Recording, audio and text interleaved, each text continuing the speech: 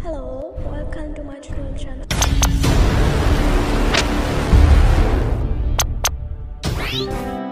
Now, please subscribe. Thank you. Hello အားလုံးပဲမင်္ဂလာပါဂိမ်းနဲ့မတင်ပြတာလည်းတော်တော်လေးကြာသွားပြီဆိုတော့ဒီခေါက်မှာတော့ကိုရိုဂိမ်းတစ်လေးတစ်ပုံနဲ့မိတ်ဆက်ပေးချင်ပါတယ်အဲဂိမ်းတစ်လေးဆိုပေမဲ့လည်းဒီဂိမ်းလေးကိုကိုတော်တော်များသိမယ်လို့ထင်တယ်ဘာလို့လဲဆိုတော့ ဒီဂိမ်းလေးကအရင်နာမည်ကြီးနေတဲ့ဂိမ်းလေးပေါ့နော်နာမည်ကြီးနေရဆိုတာဒါနာမည်ကြီးနေစေဂိမ်းလေးလို့ပြောရမှာပေါ့သူကစားထွက်ခနဲ့ကနာမည်ကြီးလာခဲ့ရပေါ့နော်အခုချိန်ထိပဲသူဂိမ်းဘာလို့နာမည်ကြီးရလဲဆိုလို့ရှိရင် graphic resolution တွေတော်တော်လေးအဆင်ပြေတော်တော်လေးကိုအဆင်ပြေပေါ့နော်ပြီးတော့မကာဘိုက်လည်းနည်းနည်းလေးပဲရှိရယ် season 1တစ်ခုလုံးမှာမကာဘိုက်300ကျော်ရရှိရယ်ပေါ့နော်အဲနောက်တစ်ခုအမိုက်ဆုံးကဒီကိန်းရဲ့နာမည်အကြီးဆုံးအချက်ကတော့အဲသူ့ရဲ့မှာပါတဲ့ character တွေပေါ့နော် character တွေအများကြီးပါတယ် အထူးသဖြင့် girl character တွေပေါ့ girl character တွေက19ယောက်တောင်မှပါတယ်ကောင်လေး character တွေရောထည့်တွက်မယ်ဆိုလို့ရှိရင်21ယောက်ထိပါတယ်ပေါ့နော်ကောင်လေး character ကဇက်ကောင်ရဲ့ပထွေးရဲ့ဇက်ကောင်ရဲ့တငယ်ချင်းရဲ့ကောင်လေးကာရီတာ2ယောက်ပဲပါတယ်ပေါ့နော်ဇက်ကောင်ပါဝင်ဆို3ယောက်ပေါ့နော်အဲဆိုလို့ရှရင်20อืม22ယောက်ပေါ့နော်ဂရက်ကာရီတာတွေကတော့19ယောက်တောင်ပါတယ်ဆိုတော့တော်တော်လေးကိုလုံလုံကျူးကျူးအများကြီးလို့ပြောမှာပေါ့အဲသူရဲ့မကာပိုင်းနဲ့ရှင်ပြီးတော့ကြည့်မယ်ဆိုတော်တော်တန်တဲ့အဆင်ပြေတဲ့ဂိမ်းမျိုးလို့ ညွှန်းရမှာပေါ့နော်ဒါကြောင့်လည်းဒီဂိမ်းလေးကနာမည်ကြီးရလို့ညီမတို့ထင်ပါတယ်အဲဒါပြင်သူရဲ့စင်းလင်မှာလည်းတော်တော်အဆင်ပြေပြီးတော့မိုက်တဲ့ပုံစံမျိုးနဲ့ထည့်ပေးထားရဲအဲကြံလဲကြံနေပေါ့နော်ဒီထဲမှာဂဲကိုက်တာနေနဲ့ပထမဆုံးစပြီးတော့မိတ်ဆက်လာတဲ့ကောင်မလေးကဇက်ကောင်ရဲ့ကောင်မလေးလူနာဆိုတဲ့ကောင်မလေးပေါ့နော်လူနာရဲ့ပုံစံကအစားရမှာတော့အလောက်ကြီးထိ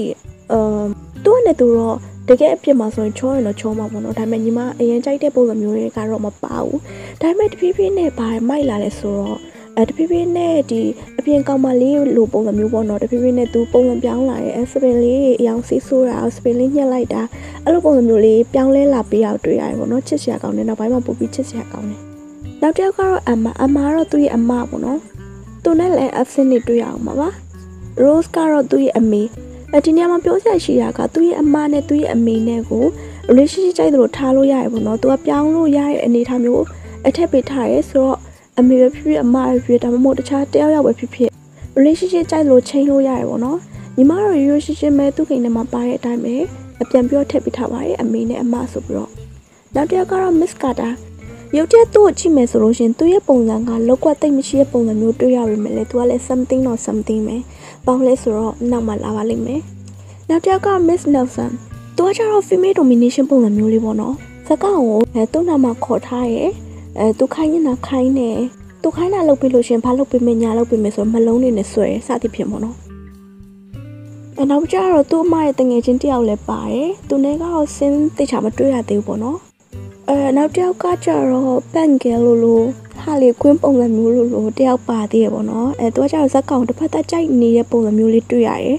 နောက်တစ်ယောက်ကကျတော့ Miss John သူလည်း Miss Nelson နဲ့နည်းနည်းဆက်ဆက်နေရပါဘောနည်းနည်းမဟုတ်တော်တော်လေးဆက်ဆက်နေရပါဘောအဲသူလည်း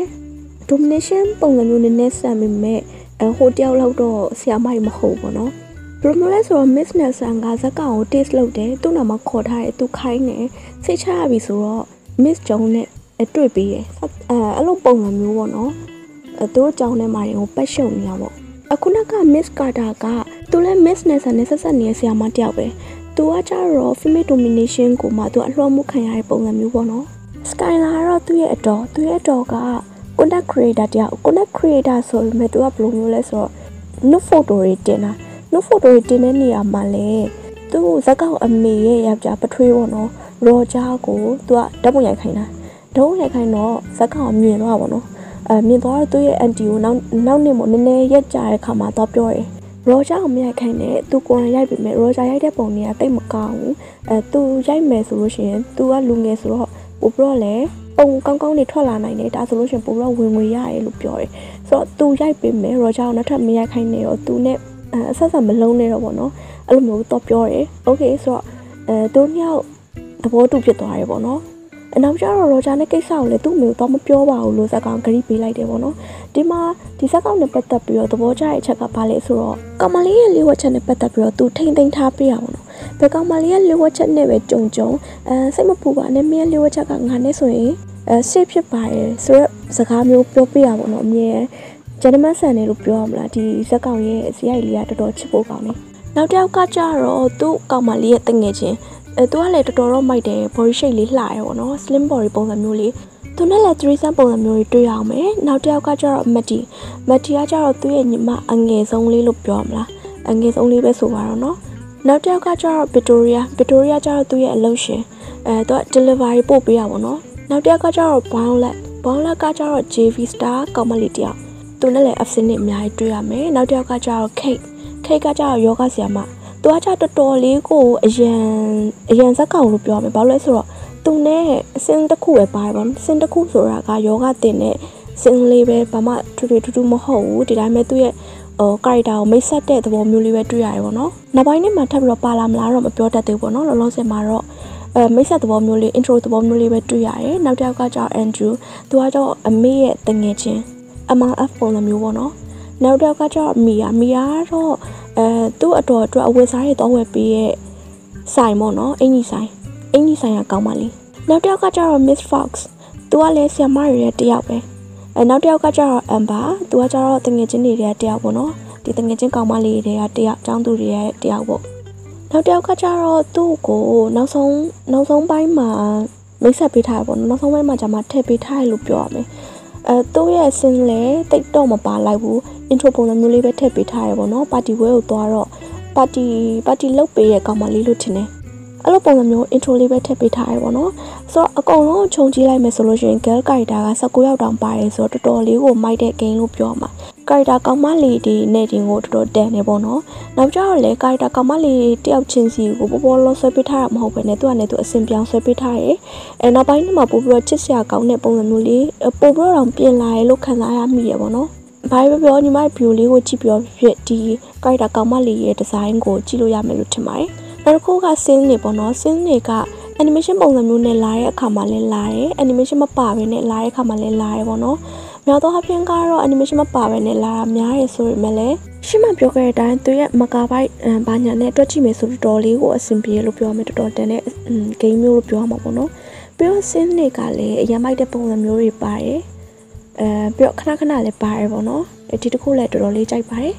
နောက်ပြောသူရဲ့ scene တွေက voice ပုံစံမျိုးနဲ့မလာဘူးပေါ့နော်ဆိုတော့ no voice ပေါ့။ ဘာရှင်ကတော့အစီအစဉ်1လို့ရေးပေးထားပါတယ်။စီဇန်1တစ်ခုလုံးကိုမမကားရဲ့300ကျော်နဲ့ရမယ်ဂိမ်းမျိုးလေးပေါ့နော်။အဲဒီဂိမ်းလေးကသူရဲ့ဒီတက္ကသိုလ်ကျောင်းသားဘဝ lifestyle လေးကိုပို့ပို့ပါလေးနဲ့မြင်တွေ့ရမယ့် physical novel game ပုံစံမျိုးလေးပေါ့နော်။ choice ရမယ့်ကိစ္စကလည်းအဲဘယ်ဥစားလေးရွေးရမလဲဆိုတာကိုသူကအစိမ့်လေးနဲ့ပြပေးထားရပေါ့နော်။ဆိုတော့ကောင်းစားစရာမလိုပဲနဲ့အေးအေးဆေးဆေးလေးဆော့လို့ရမယ့် game မျိုးပေါ့နော်။ပြီးတော့ mission လည်းမပါဘူးเนาะပြောပြလို့ပဲ mission မပါဘူး choice ပေးအောင်ပဲအေးစစ်စစ်လေးဆော့လို့ရမယ့် game မျိုးလေးပေါ့ storyline ကြချိန်ကတော့စာရီဖတ်ကြည့်မယ်ဆိုလို့ရှင်3-4နာရီလောက်တော့အနည်းဆုံးကြာရပေါ့နော်အဲသူက season 1တစ်ခုလုံးကိုအဲ့လောက်လောက်ရှိရပေါ့နော်လောလောဆယ်မှာတော့ complete မဖြစ်သေးဘူးနောက်ထပ်ဘာတွေထပ်ပြီးတော့ထည့်လာမလဲအဲဘယ် character တွေထပ်ပြီးတော့မိတ်ဆက်လာမလဲဘာတွေထပ်ထည့်လာမလဲဆိုတာကစိတ်ဝင်စားဖို့တော့ကောင်းပါတယ်အနည်းဆုံးကိုသူ့ရဲ့ season 1မှာနေကိုကကောင်းကောင်းမလေး19ရောက်ဆိုတော့တော်တော်မိုက်တယ်ပေါ့နော်အဲနောက်ထပ်သာထပ်ထည့်လာရင်တော့ပိုပြီးတော့မိုက်မဲ့ game မျိုးလို့ထင်ပါတယ်ဒါကြောင့်မို့လဲအရင် နာမည်ကြီးပြီးတော့လူကြိုက်များနေ game လေးဖြစ်ညီမကအဲညီမတိတဲ့လောက်လေးတင်ဆက်ပေးလိုက်တယ် share လုပ်ပေးလိုက်တယ်ပေါ့နော်အကိုဆော့မလားမဆော့မလားဆိုတာကတော့အကိုရဲ့ဆုံးဖြတ်ချက်ပေါ်မှာပဲမူတည်ပါတယ်တကယ်လို့ဒီ game လေးကိုသဘောကျရဲ့ကြိုက်တယ်ဒေါင်းကြည့်ချင်တယ်ဆိုလို့ရှင်တော့အခုညီမတင်ပေးထားတဲ့ view လေးအောက်ကကိုမမှာပဲသွားပြီးတော့ဒေါင်းလို့ရပါတယ်